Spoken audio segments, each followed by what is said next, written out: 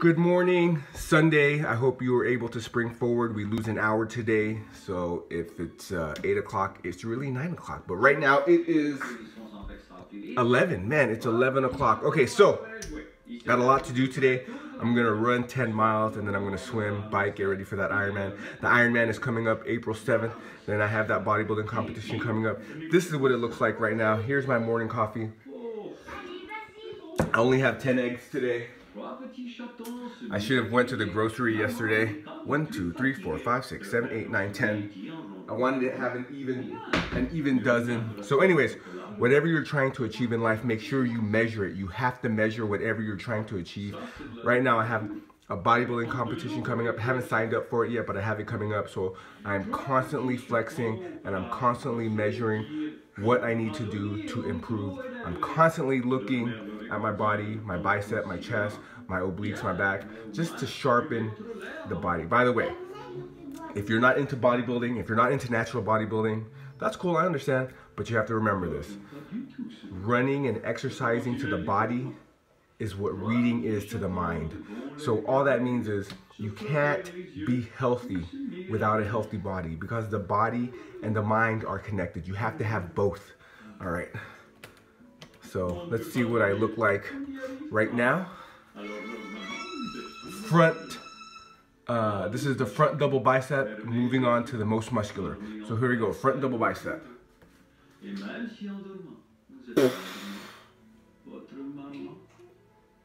It's getting better. It's getting better. The obliques aren't that great right now. Most muscular,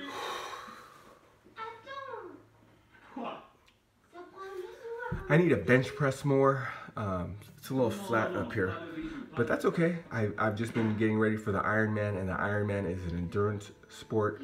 It's an endurance activity, so like um, you're never gonna see a champion endurance athlete also be a champion powerlifter. The two just don't go together. Here's my back double bicep.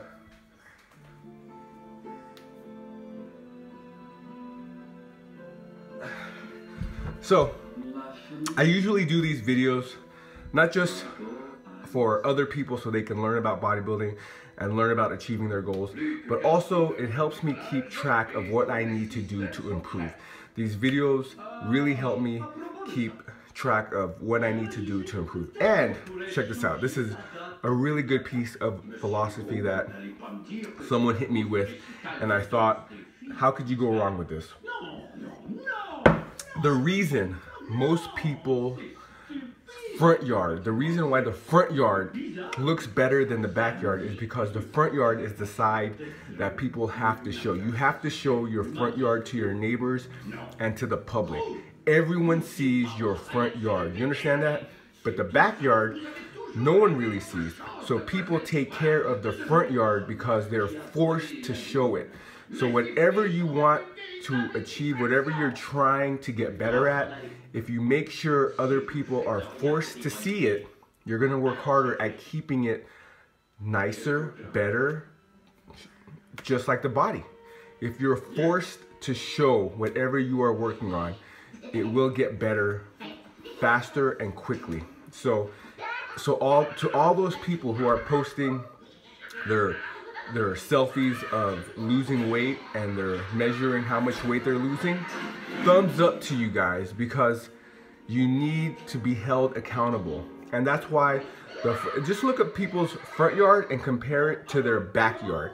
The front yard always looks better because they're being held accountable by their neighbors. I know my front yard always looks better because I don't want to have, I mean, I know my front yard always looks better because I don't want my neighbors to feel like, hey, this guy doesn't, our neighbor doesn't care about how our community looks like. So I work hard and um, I, I hire a gardener sometimes to keep our front yard looking nice and tight.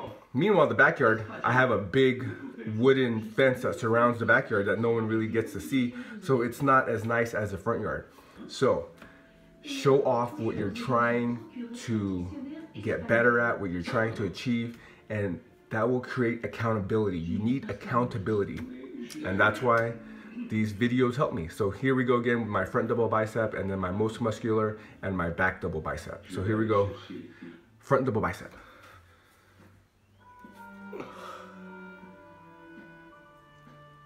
Then the most muscular,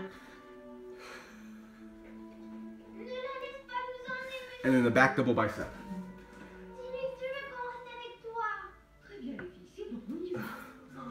All right. While my food is cooking, I'm not making this up. I just exercise throughout the day, 10 minutes here, 15 minutes there, while my food is cooking on the stove. I'm lifting weights. I'm just lifting weights.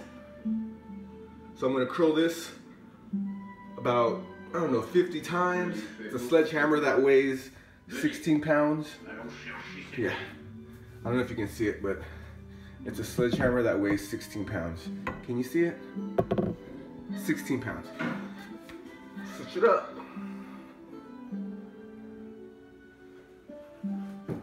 Right? The cool thing about using a sledgehammer is you can change the angle of the weight. So look, you can move it here.